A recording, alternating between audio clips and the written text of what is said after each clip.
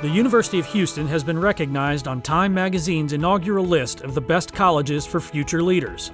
The list includes the top 100 colleges, both public and private, that are forging the path to the future by shaping U.S. leaders. UH was one of only three public institutions in Texas to make the list.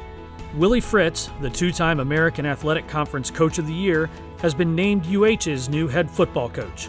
Fritz, who has more than 30 years of collegiate head coaching experience, ranks fifth among all active FBS coaches with 208 victories. He's ready to hit the ground running and elevate UH football to new heights.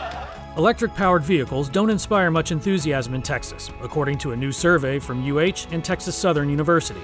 Just over 5% of those surveyed said they currently drove an electric vehicle, and among the large majority that didn't own or lease an electric vehicle, nearly 60% say they wouldn't consider one in the future.